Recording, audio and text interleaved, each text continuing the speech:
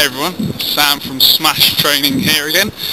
Um, I'm just taking a leisurely walk through Victoria Park again. Um, just going to one of my favourite spots for a bit of a bit of a read.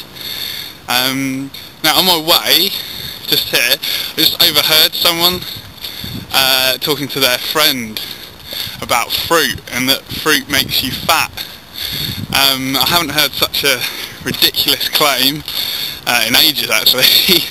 and then I, I, looked it up a bit on the internet, found some articles by the Daily Mail and and some other fitness professionals, and um, yeah, making the same claims that fruit makes you fat, which is ridiculous to me, to be honest. I mean, there's some there's some theory behind it about the uh, fructose and uh, and the carbohydrates that are in fruit can can make you fat. But the the real thing that makes you fat is overindulging yourself.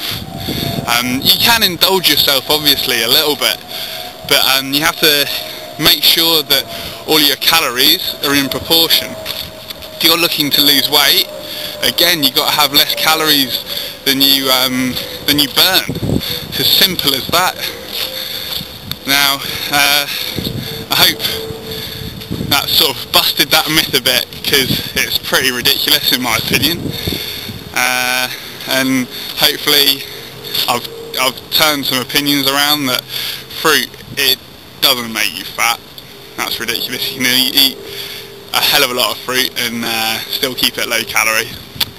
Alright guys, hopefully that's been helpful for you. Now uh, I'm off to have a nice read by the lake. Alright, smash it out guys.